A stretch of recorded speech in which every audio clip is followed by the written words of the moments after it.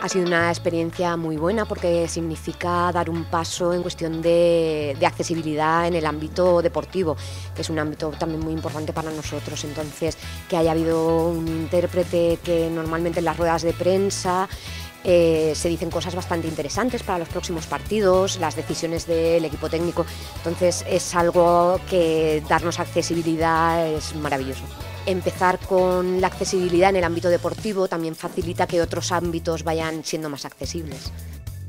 Para conseguir una sociedad más inclusiva necesitamos participar todos y, hacer cosas en colaboración para, conseguir esta, esta, inclusión. Ha sido un orgullo para nosotros pues, esta colaboración con, con el club. Amun Valencia.